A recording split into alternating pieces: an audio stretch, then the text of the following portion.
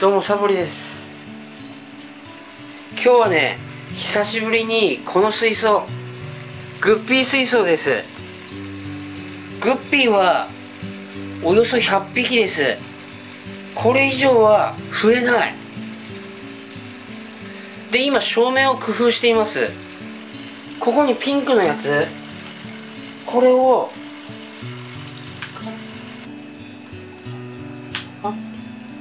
地味だな。普通すぎる。カチャ。植物育成用ライト。ここにね植物育成コーナーがあります。で今問題なのはこれ。これねこれ外部フィルターなんですけど暗くてわかるかな？これがカラカラしてうるさい。わかるかな？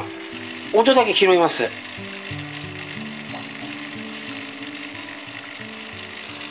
わかる？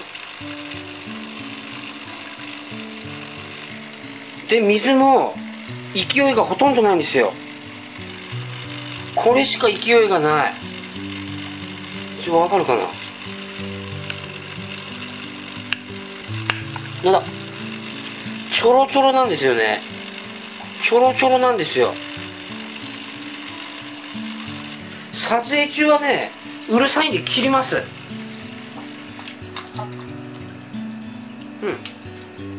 ん。でこの葉っぱたちこれがなんかね面白い形で成長してます。光の方になんか向かってますね。なんか向かってる。そんな感じ。これですねこれ。これに向かってる。葉っぱたちが。うん？でもっとね深刻な問題発生しました。実はねフィルターです。現在使ってるろ過装置はさっき紹介した壁掛けフィルターとでサブフィルター3つ使ってます。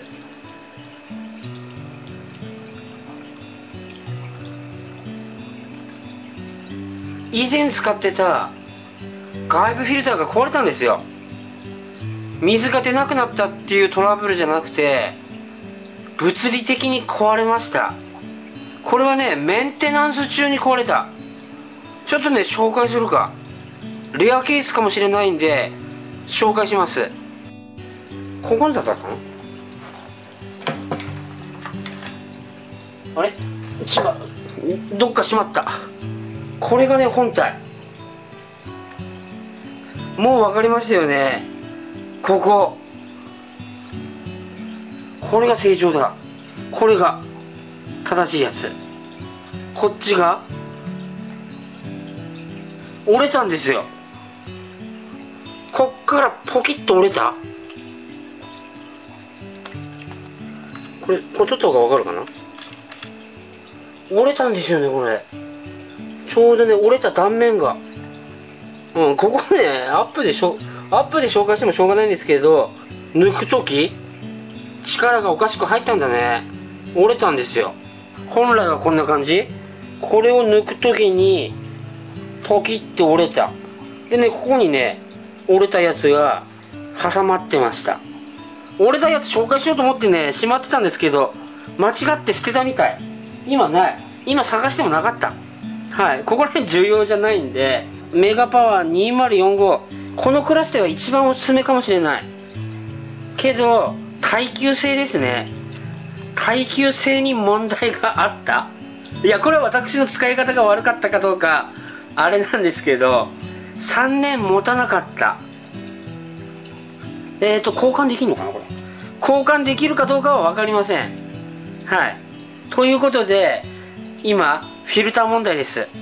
外部フィルターは壊れた。外掛けフィルターは水量が弱い。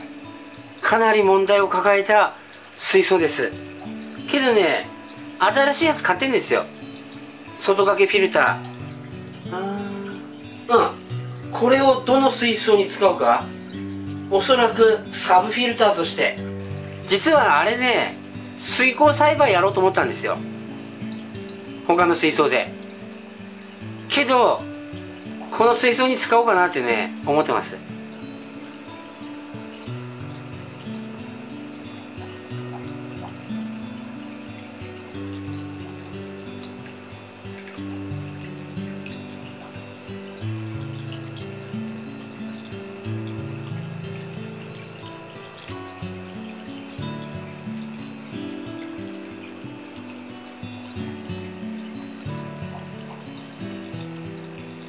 照明消えた。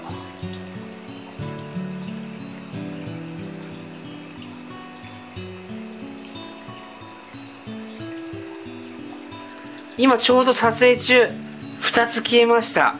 水中ライトもね消えました。よ